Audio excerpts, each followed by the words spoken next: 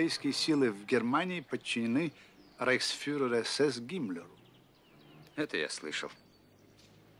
Значит, речь идет о сохранении власти СС, которая, как вы считаете, имеет возможность удержать народ от анархии в рамках порядка. Так, что ли? А кто вносит подобное предложение?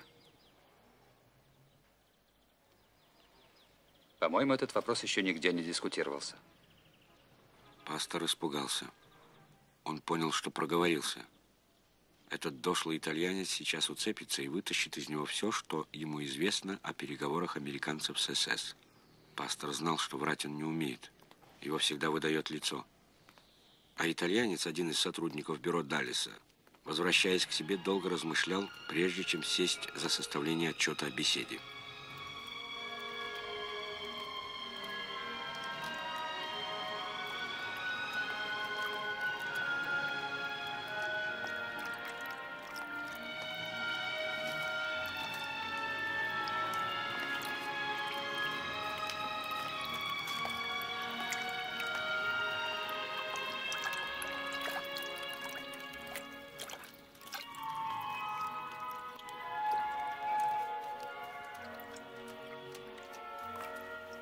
Либо он полный нуль, продолжал думать итальянец, не представляющий ничего в Германии, либо он тонкий разведчик. Он не умел торговаться, но он не сказал мне ничего. Пожалуй, даже он больше разбирается в том, чего хотим мы, нежели я в том, что могут они. Но его последние слова свидетельствуют о том, что им известно нечто о переговорах с Вольфом.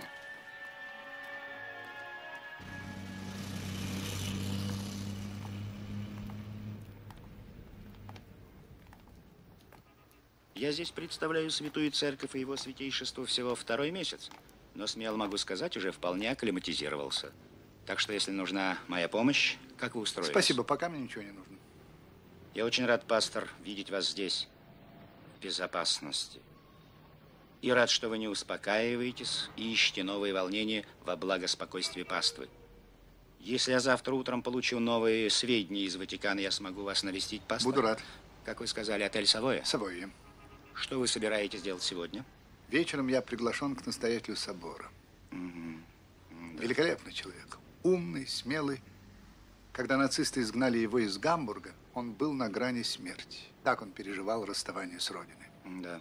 Эту горькую чашу пьет каждый. Желаю удачи.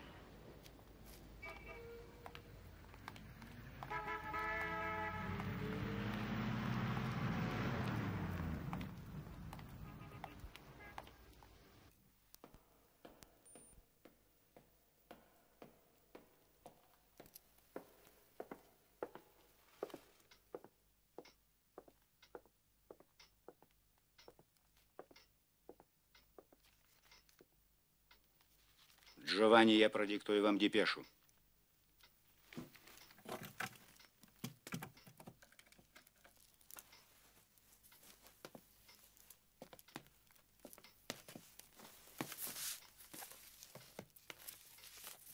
Зашифруйте, отправьте ее немедленно. Монсеньора Кадичелли, Ватикан.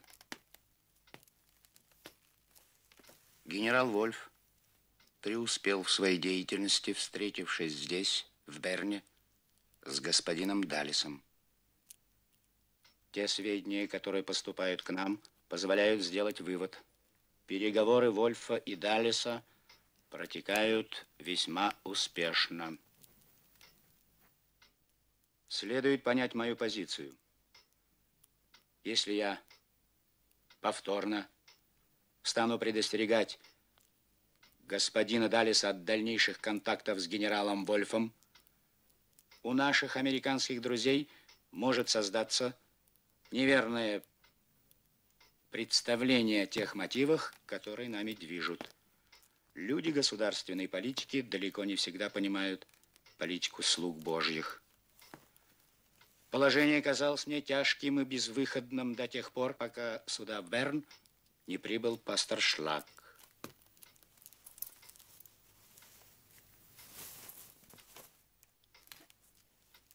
Вы должны помнить этого благородного человека, который всегда ратовал за мир посещая неоднократно Швейцарию, Ватикан, Великобританию до 1933 года, когда выезд из Германии не был сопряжен с теми полицейскими трудностями, которые начались с приходом к власти Гитлера. Пастор Шлак прибыл сюда, по его словам, для того, чтобы предотвратить возможность дальнейших переговоров между Вольфом и Даллисом, поскольку он глубоко убежден в том, что Вольф отнюдь не занят поисками мира, но лишь зондирует почву для поддержания режима нацистов.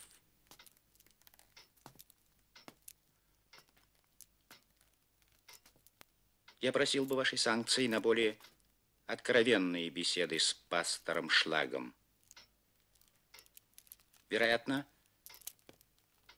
стоило бы подробнее информировать его о происходящих в Берне переговорах. До тех пор, пока я не смогу предложить пастору Шлагу реальных доказательств нашей искренности, трудно ожидать от него откровенной беседы, в которой бы он сообщил полные данные о тех его друзьях, которые направили его сюда из Германии.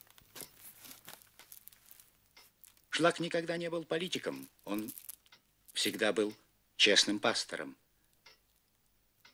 Однако, обращая свой взор в будущее, я вижу серьезную выгоду от того, что именно пастор, служитель Бога, оказался тем чистым и высоким человеком, который искал мира, рискуя своей жизнью, но при этом не шел на компромисс с нацизмом.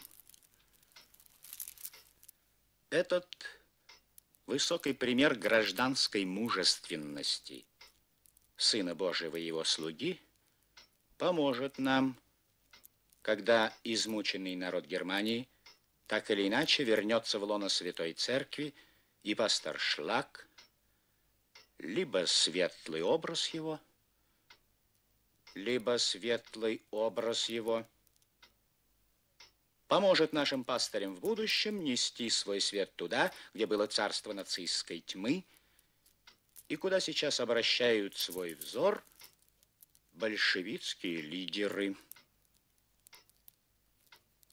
Поэтому... Поэтому я и спрашивал разрешение на то, чтобы ознакомить пастора Шлага с теми материалами, которые Святой Церкви удалось получить при помощи монсеньора Штауте, бывшего епископа Гамбурга.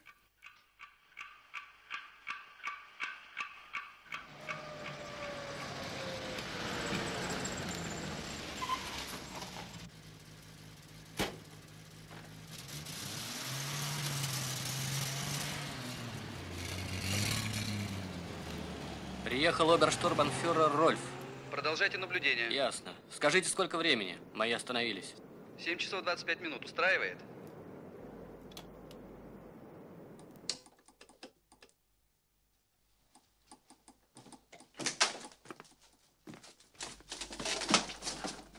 Оставьте нас вдвоем. Оставьте нас вдвоем.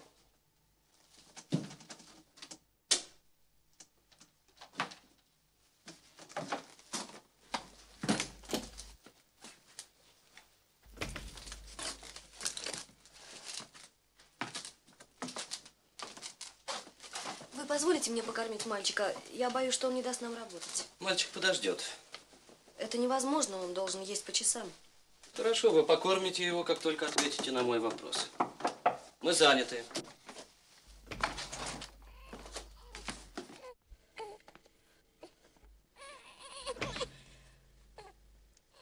Ребенка пора кормить.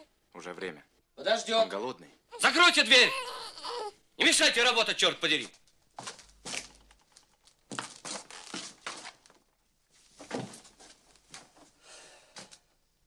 Так вот,